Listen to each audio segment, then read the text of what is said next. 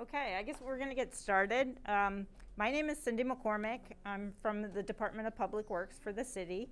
Um, I'm one of the deputy directors and I'm the project manager for the Duke Street project.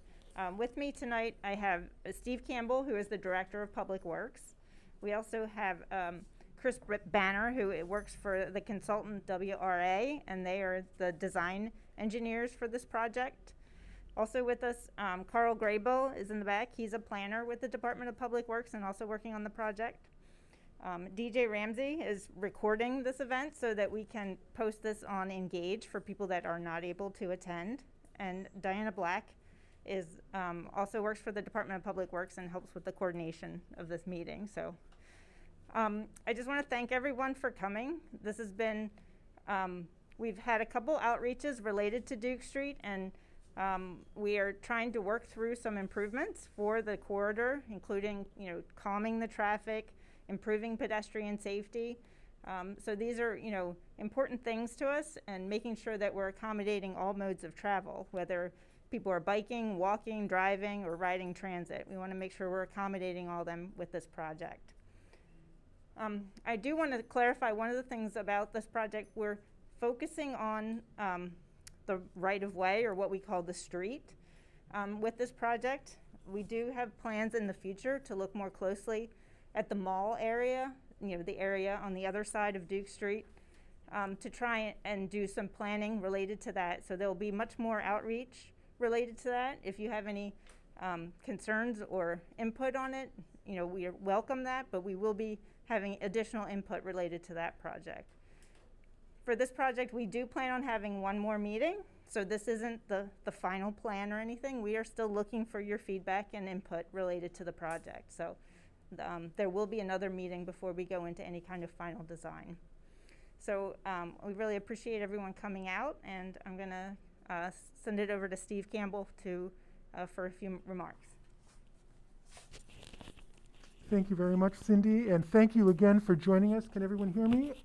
Yes. So thank you again for joining us. We're very, very excited about this project. As many of you know, it's a long time in coming. Um, community engagement is, is never a perfect science, but we believe that we're uh, coming out to the public as much as possible these days, and we're trying to get as much of your input in a variety of different ways as we possibly can. Over the last several months, we've been canvassing the neighborhood. We've been present at the mayor's uh, the mayor's evenings. We've been present at the San Juan Bautista Festival and had other opportunities to meet with or present information to you. Also on the Engage Lancaster website is where we've been able to, to collect a, a lot of the information uh, and data and your opinions that are very important to us. A lot of today's presentation is re-presenting to you not only what we heard when we asked questions and confirmed from you, did we get it right or do we need to understand it differently, but also some implications about what you told us and how that may affect the design itself.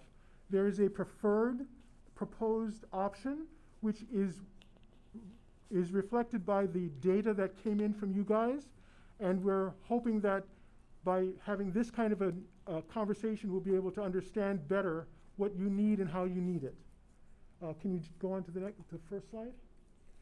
So Cindy has started with the project, the welcome and introductions. The project overview, she's given a, a brief project overview, and we want, I want to reiterate that this is a project in the, in the midst of a variety of other initiatives as well.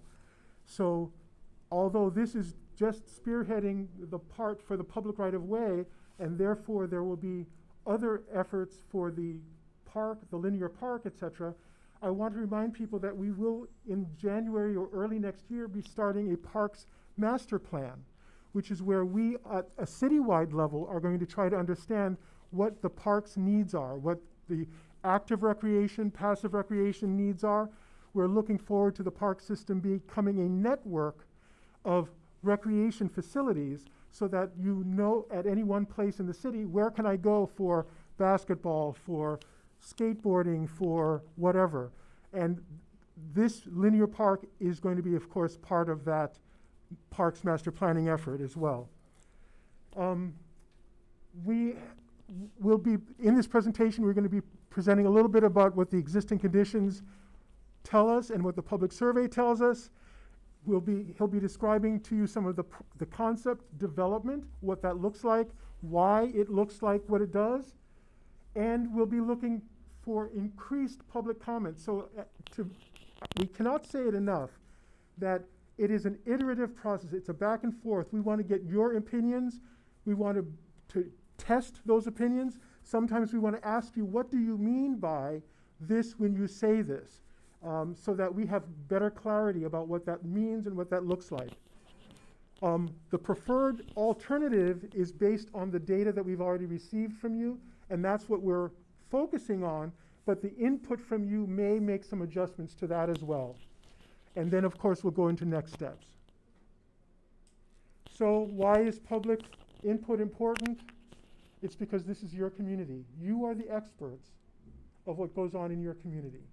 You are the experts on what you need, how you need it, how it's currently used, how it is likely to be used, and what we can do to make your enjoyment of the facilities as best as humanly possible. I'm going to turn it over to Chris now so that he can get, go forward with the rest of the presentation. At this particular moment, if I understand correctly, we're expecting that you would, we would make most of the presentation straight through, and we will be entertaining comments and questions towards the tail end. However, I'm suggesting to him that if there are good stopping points along the way, we might stop partway through the presentation so that you can ask some questions and then keep on going. We want to make sure that it's as clear as possible to everybody. Thank you very much. Chris? Oh, you already, you already set up.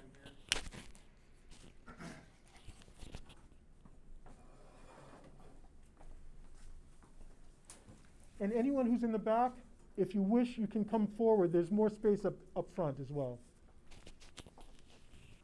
All right, thank you very much. Uh, yeah, as you can see.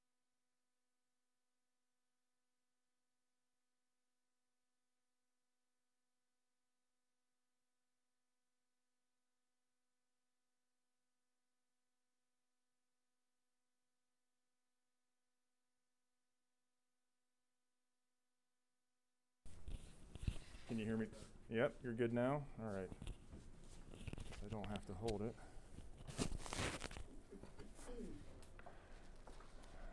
So as just to reiterate, the city has been working with the community to identify ways to improve South Duke Street between Church Street and Chesapeake Street.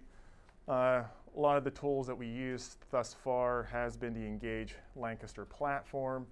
We have done public outreach with paper surveys from door to door, and we have done public events, including the Duke Street pop-up event during Mayor's Week, uh, to conduct public outreach.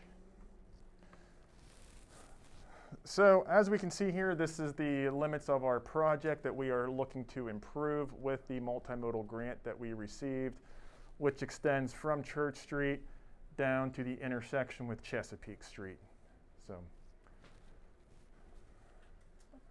uh, as part of this uh, project, the city has established a Vision Zero goal, which is to eliminate traffic-related deaths and serious injuries by 2030. And how does that tie into Duke Street? Duke Street is on the city's high injury network, uh, which includes the streets with the highest number of crashes, especially those involving pedestrians and cyclists. Um, next slide. And this just is just a map of what we have, uh, have been identified as the high injury network within the city of Lancaster. And as we can see within our project limits, uh, we have South Duke Street. So that ties into next slide. And here, this is just a, a, collection of PennDOT data that has identified actual reportable crashes. And within our project limits from Chesapeake to Church Street, there really isn't one identifiable block that we can say this is where we're having a crash issue, this is where we need to focus. We actually are trying to identify ways to improve the entire corridor because we have crashes spread along from Church Street all the way down to Chesapeake Street. So it's just another visual to show that we have uh, a, a, some crash history here along the corridor. So, South Duke Street is actually recomm- it's uh, part of the recommended bikeway network in the city active transportation plan. Active transportation, just to give you some insight, is just means of walking and cycling, active ways to get around the city. And again, here is the over, here is the bicycle network that is uh, planned for the city of Lancaster. And Duke Street is a, identified as a thoroughfare for bicyclists uh, for, for this uh, bicycle network. Next slide. So, as it was previously stated, the city did receive a $1.2 million PennDOT grant to address these bicycle and safety issues for Duke Street. Uh, however, this is a multimodal grant, which means it must be used to make walking and bicycling safer, more comfortable, and more convenient. So, for the existing conditions, what did we do to get started? Our team, we did an initial first look. We came out, walked the corridor, and tried to identify areas that we felt would need improvement. But before we put any pens to paper to identify some plans, our project team actually came out and we did an initial uh, survey on Engage Lancaster, and we also distributed paper surveys to collect information to try to see what the community felt were issues along the corridor. And we actually collected more than 232 responses during the survey period between March and May of this spring. And if you've been active on Engage, you may have seen this pie chart already, but this is just, this is what was identified from the existing conditions survey from the community as far as what are issues uh, throughout the corridor. And as we can see, a lot of it, it was really evenly distributed, but a big one was unsafe traffic speeds, street lighting, and multimodal accommodations, pedestrian safety, uh, access to bus stops, uh, fits into that category that was identified uh, for, for this. So using this data, that's when we started to identify, look at the corridor itself and say, how can we address these issues within the, within the street right away to uh, make, make improvements for these concerns. Oh, sorry. Yeah. You said those are from the Engage survey? It was from both the Engage and, writ- and and, and, and the paper survey. Yep. So we use this to start developing some concepts to survey data to develop two alternatives to address these concerns raised by the public. And we did focus on, on developing concepts to address the traffic speed, improve safety for pedestrians and cyclists along the Duke Street corridor. Based on this feedback, two concepts were developed for public comment. One was a separated bike lane, and another one was the shared use path.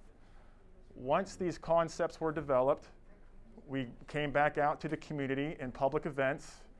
Uh, we, we organized a pop-up event right here on Duke Street during Neighborhoods Week, and we also presented these concepts uh, for comment at the San Juan Bautista Festival, and they were also posted on the Engage Lancaster uh, website for comment on there as well, to try to gather as much information as we could.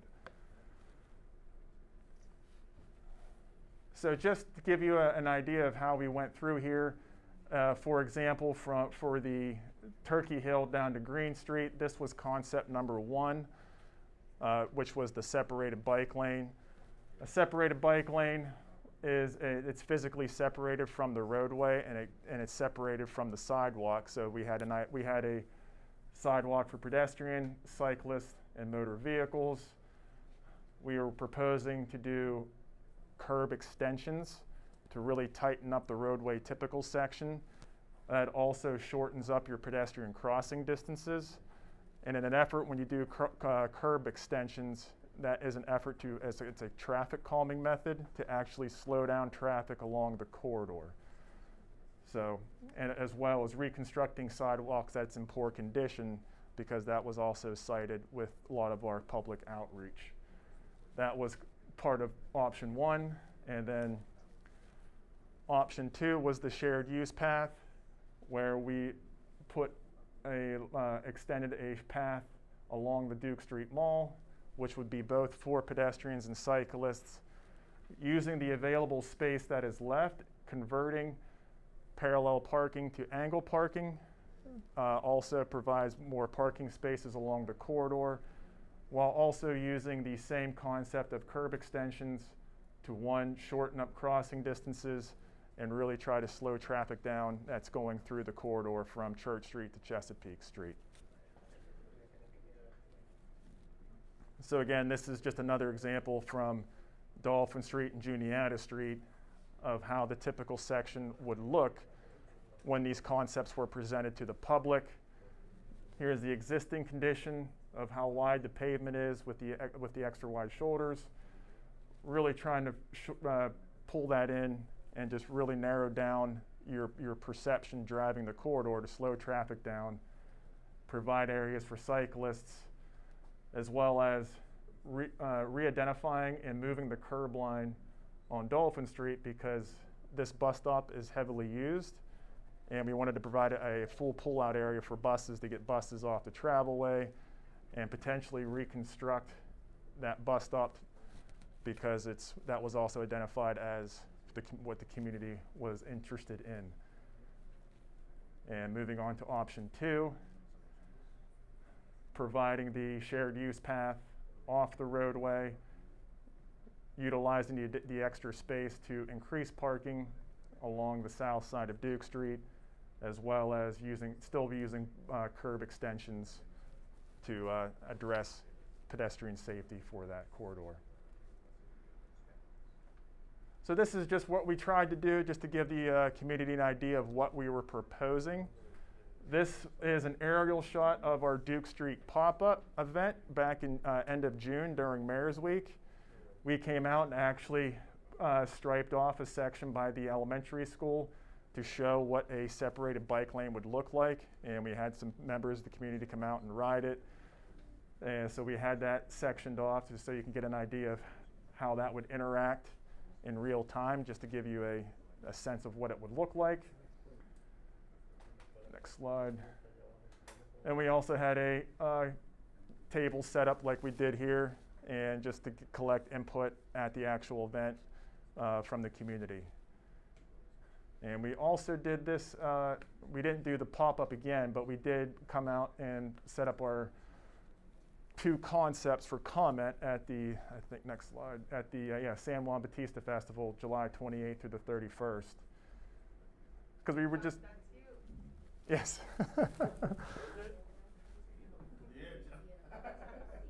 I think so, yeah. Oh, I was skinny there. All right, next slide. So after we had those public events and we had the information posted on Engage Lancaster, we collected additional responses for what really uh, what really hit home with the community as far as what concept they preferred. And the shared use path is what came back as the preferred alternative for the corridor. And within those responses, there was additional feedback that they wanted to see addressed with our when we went back to the table and refined the concepts. Next slide.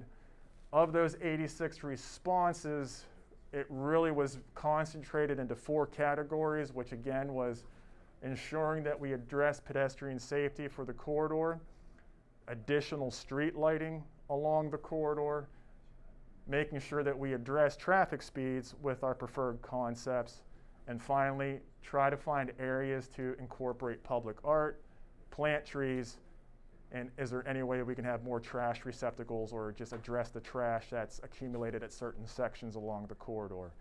So using that information, there it is, just broke, and that's broken down. It's outside of additional street lighting, it's evenly distributed, distributed uh, through the comments that we received from that. So again, we took that information, we took our shared use path concept, and went back to refine it even further to try to incorporate all as many of these uh, uh, concerns that we could. So we moved forward with the shared use path, and we, uh, the shared use path was further refined to address these public comments. So here was the concept of the shared use path. And this is down at the Church Street intersection. And this is the refined section. And really, we were trying to focus on making sure that we provided the shared use path with a connection to both into the city and further up Church Street, and really focus on maintaining, trying to bring, uh, shorten up crossing distances where we could to further uh, address pedestrian safety at this intersection.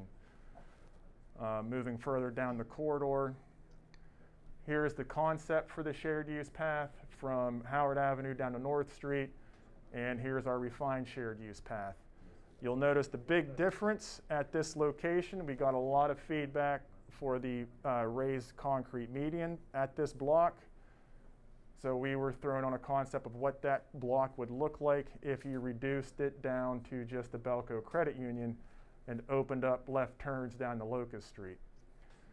As you can see, a lot rather than having all the curb extensions, we rather than having those be all concrete, that gives us- us an opportunity for green space for additional trees and or uh, rain gardens to clean storm that the, to address stormwater. A couple different options that we can do there, and where we can uh, incorporate additional trash receptacles along the corridor as requested. So, On which side?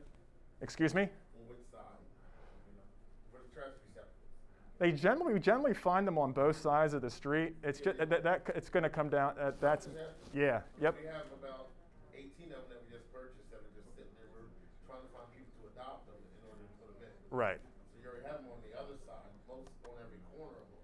Yeah. that the city does empty on a weekly basis. But along this side, on the south side of Duke Street, there's only two.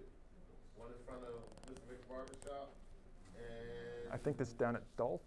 and down at Dolphin. Dol- I think someone's down at Dolphin Street. one out of Belco because it wasn't emptying it, so we moved it. A soccer development didn't come and empty it enough, and I got tired of calling my mom complaining. So we, so we called Fredo and had him move it up in front of the barbershop. Now they empty it on a weekly basis. So I, I was just wondering, where would you talk about trash receptacles? Yeah. And and that, that's a con- that's a more in-depth conversation as as far as placement and maintenance. So, and another big concern was we we understand that this median was being used a lot as a pedestrian refuge. So trying to eliminate that's not was not the original intent. We What do you mean by that? What's that? Uh, people walking out and standing in the middle of the median trying to cross the street where there's not an actual crosswalk. So we were actually going to provide a crosswalk, provide a curb extension, shorten up that distance, and provide an actual area. So it- it's more about driver pedestrian interaction. If a driver sees a crosswalk, they expect to see pedestrians there, and that reduces the likelihood of an accident. And that was at Locust, I mean, that was in the middle of the block before. Yeah, right there at Locust Street. So. Yeah, well, yeah. Yep. So moving further down the corridor, here we are at uh, down Turkey Hill to Green Street. You'll see the the biggest difference is trying to identify areas that would be available for green space to address trees, again, bioretention. Um, also proposed uh, for increasing pedestrian safety, we are proposing a rapid rectangular rapid flasher beacon at the Green Street at the Green Street crossing because this is the main thoroughfare to the to the school campus. If you've been around the city, you, the rapid flasher beacon, it does not flash unless someone comes up and activates it. When it flashes, it stops traffic in both directions so you can cross safely and not have to worry about traffic. So uh, it's, we have much success in, in uh, installing these around where, you, particularly around school campuses. So. Is there any extra already installed? Along Christian Street, You're on Christian? on Christian, yeah, like at Walnut, um, at Lemon. Lemon Lemon, and, got and Liberty Street actually too. Yeah, that, that's gonna take some educating some people. Yeah. And Well- it, yeah, it does, it definitely, it, we've But. It sounds like it, it works, it sounds like. Yeah, the, the biggest difference with the rectangular than a yellow flasher, yellow flashers run 24 hours a day. People get numb and just then just they get used to it. With a rectangular, rec- that only activates until someone flashes it, and it's bright and it lights up the street even at nighttime. So it's, if you go up there and look at it and go up there and push it, you, it, it, it's, it, yeah, it, it's a small light show, and traffic traffic respects it. Then see, and then that's that's that's what we're we're finding, much success with those.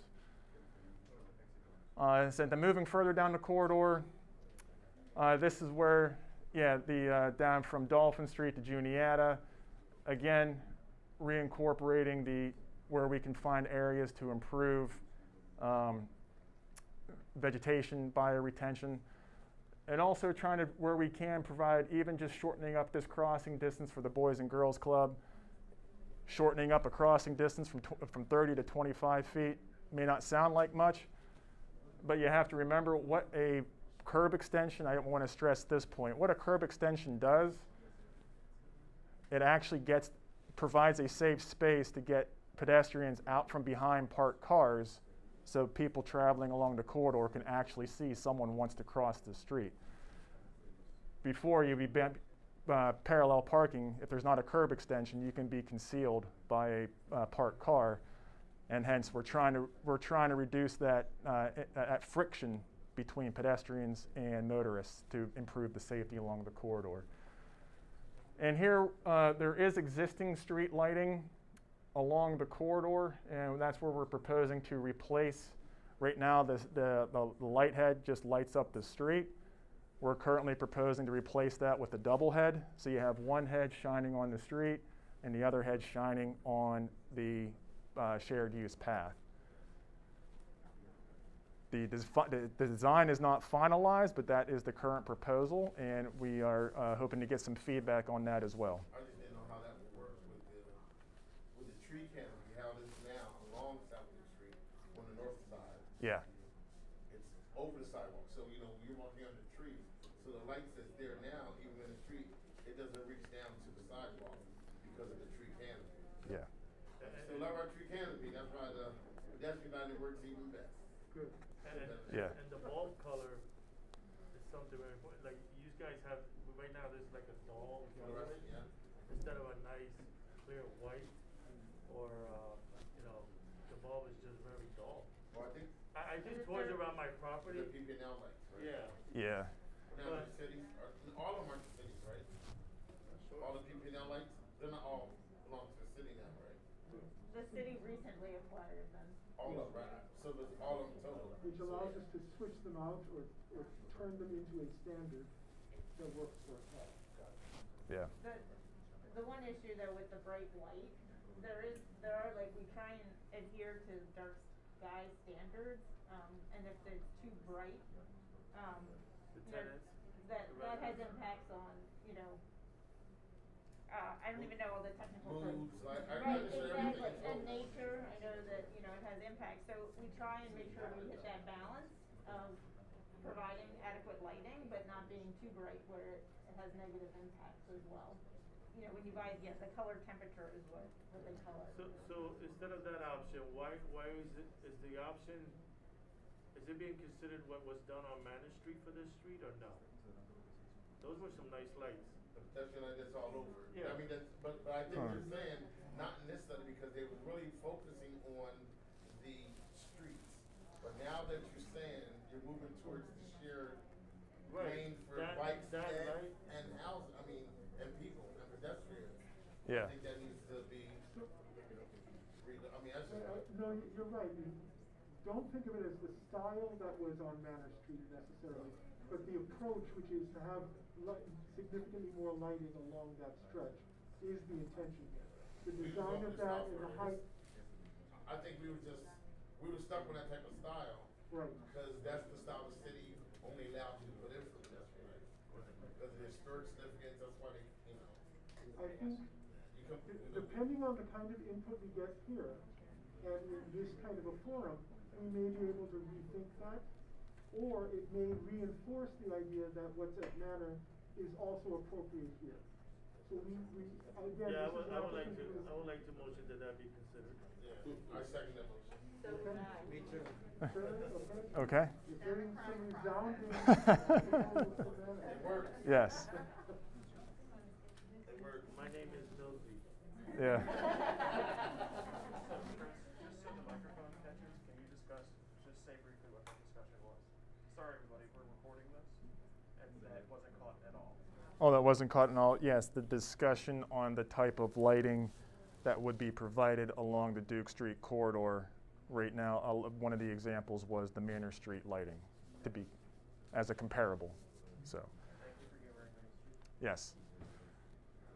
And so, yeah, mo- moving further down, I don't know if we went further than. No.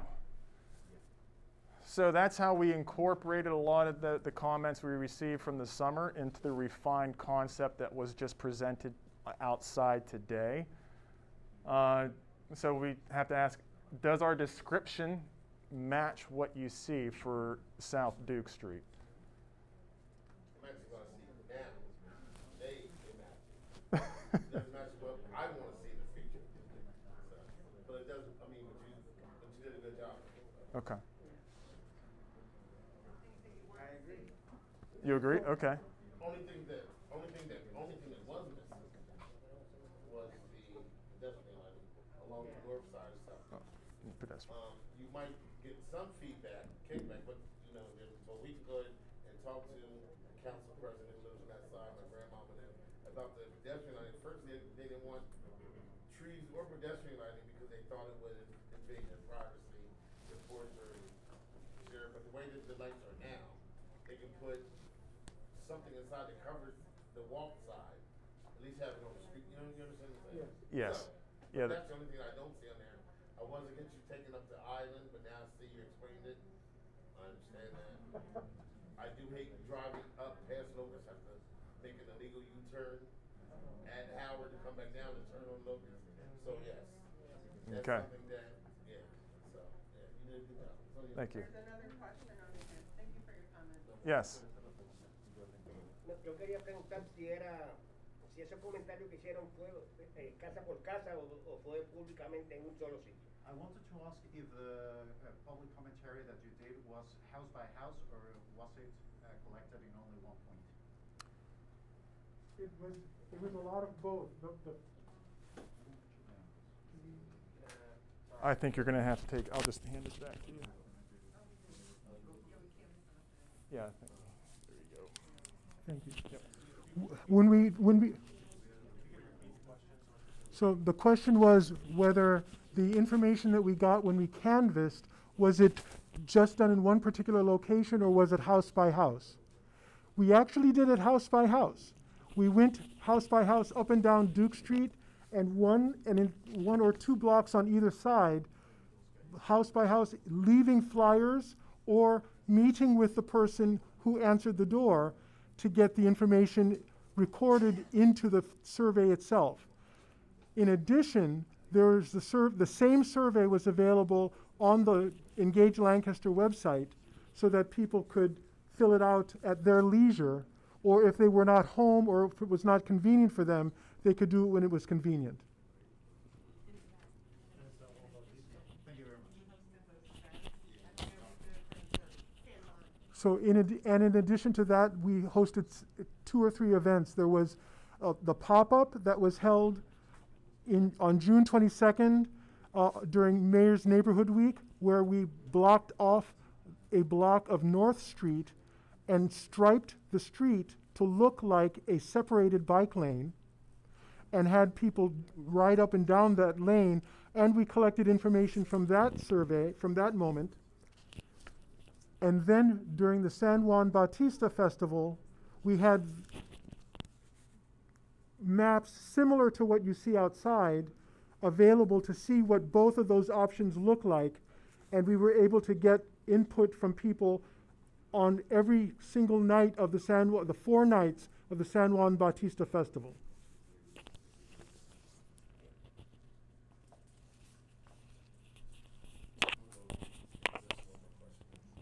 do the lighting, if, even if it's the street lighting with the parallel, can you have them painted black or green and not the silver no more, that's old.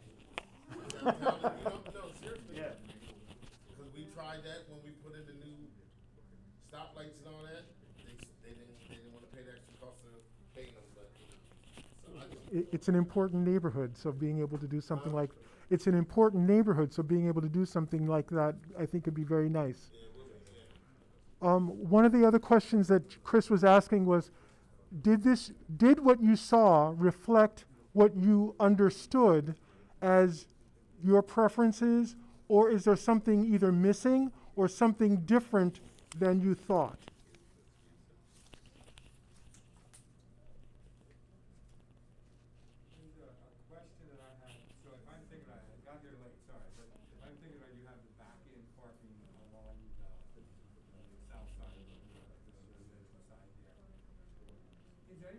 Lives up where that is already? Is it does that end, end up being a hangout where you have people working on cars and bikes and stuff like that there? Or is it, has that been? No, I think that, I think that will happen anywhere. Anywhere they, anywhere they can get underneath their hood. I mean, so, but Okay. no, I, I never seen it in the four hundred block right here. Okay, that's why I was thinking the four hundred block is not a problem, it probably won't be that. Yeah, big. no, no, no, you see that happening, Yeah. but what I'm saying is I see it happening on Emmy Street. You can look outside here right now, this guy got his truck jacked up right here in front of the house right here next to it, so it happens. I mean, cause they have no off-street parking, they have no driveways, they have no back parking. And that was one of the questions twenty years ago.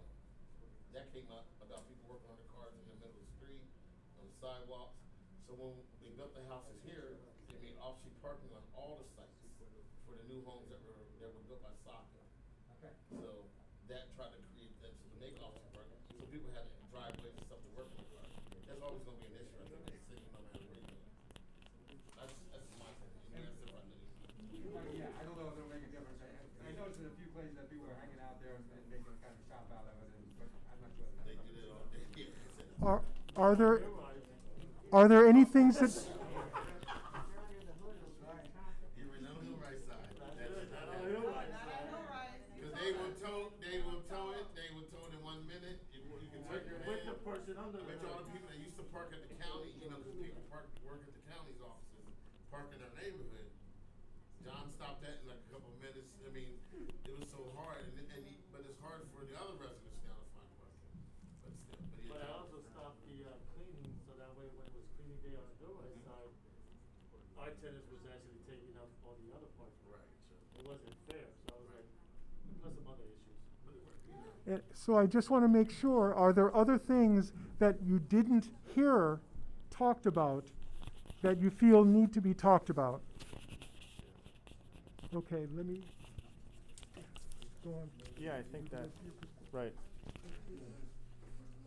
So just to give an idea of where we're at timeline-wise, uh, we're gonna again take the opportunity to incorporate comments that we received tonight, or the, all this information, it will be posted uh, to the Engage Lancaster website if you want to download or even take a survey with you and mail it in at a later time.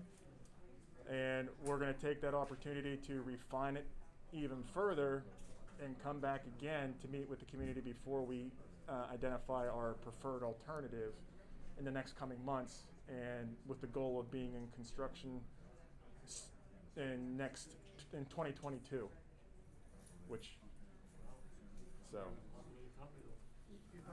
Yeah. Could I ask something before you Oh, sure. Um, on the representation of the public, I'm sorry, on the representation of the public uh, residents, in the towers alone is two hundred residents.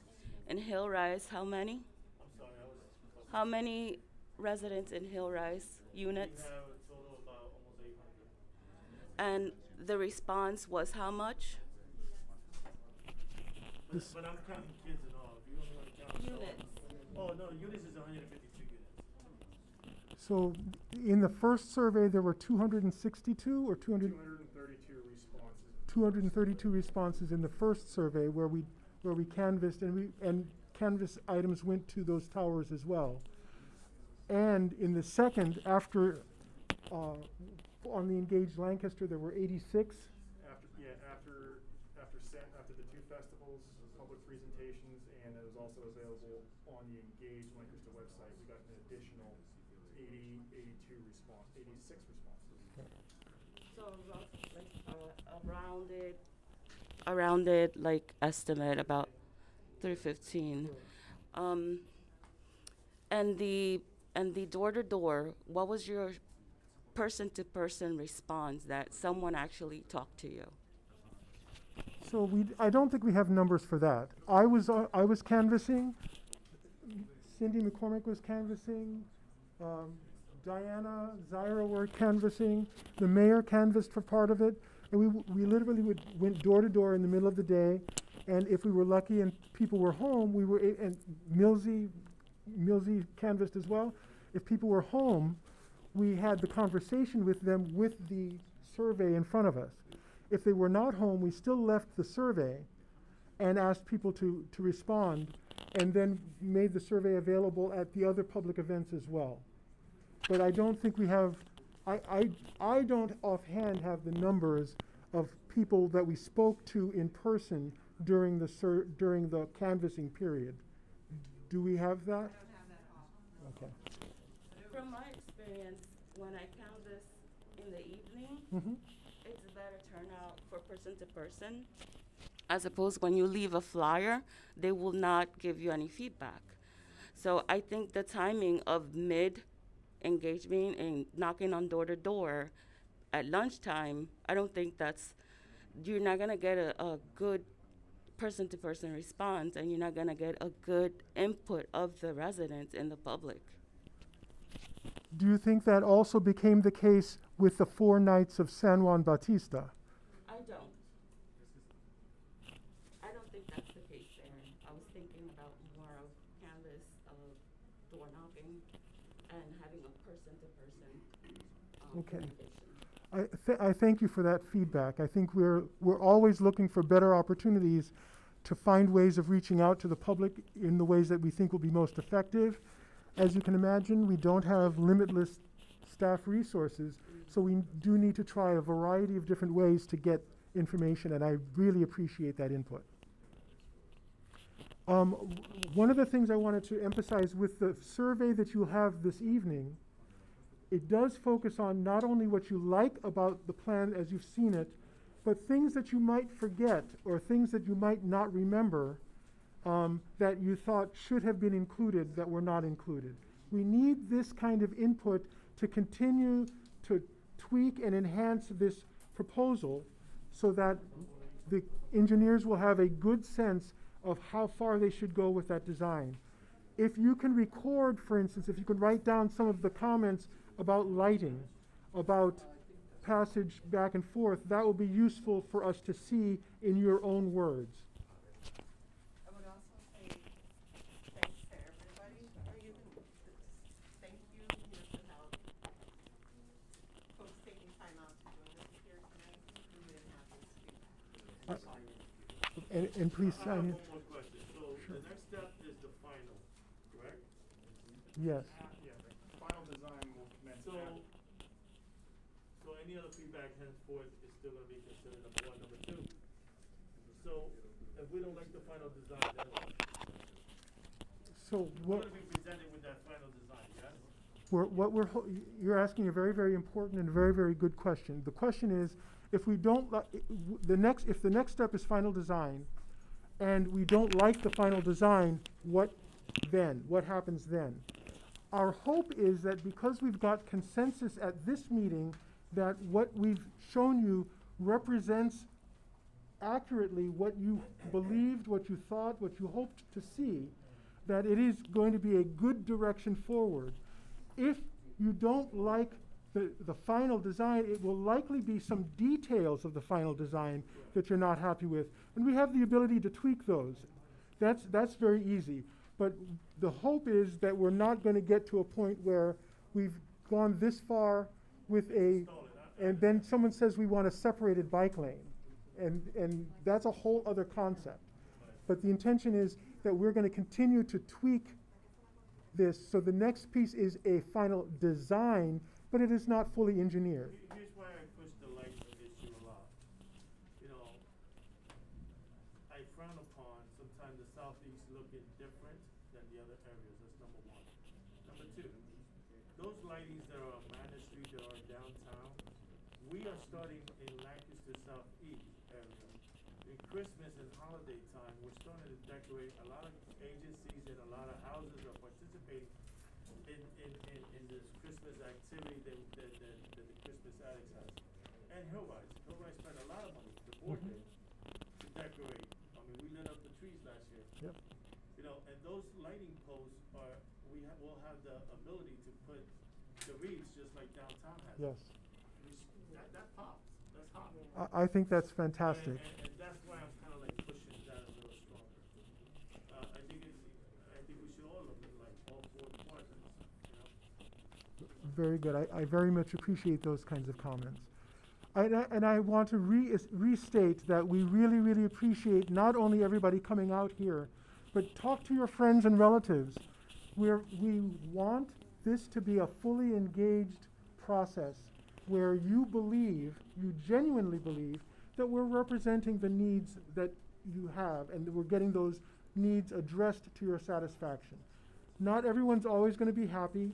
We're all different people, we all have different experiences, but what I'm sensing here is that we seem to have rather accurately represented what your concerns were that were, were told us over the last several months. And we really need, uh, especially in this next phase, we need that input to make sure that we're not going astray. We're not going in the wrong direction. We really, really appreciate your time is valuable. It's really important to us that you are, you've taken out that time to share with us your ideas and your hopes. So I really, really appreciate that. I'd just like to say thanks a lot for, for committee there. I'm sure we won't all get what we exactly want, but it'll be an improvement, so we appreciate all the work.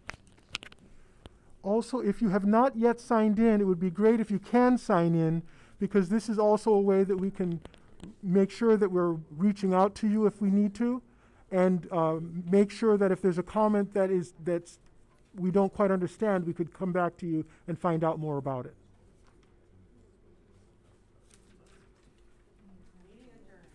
That, thank you. Thank you very much. Meeting adjourned.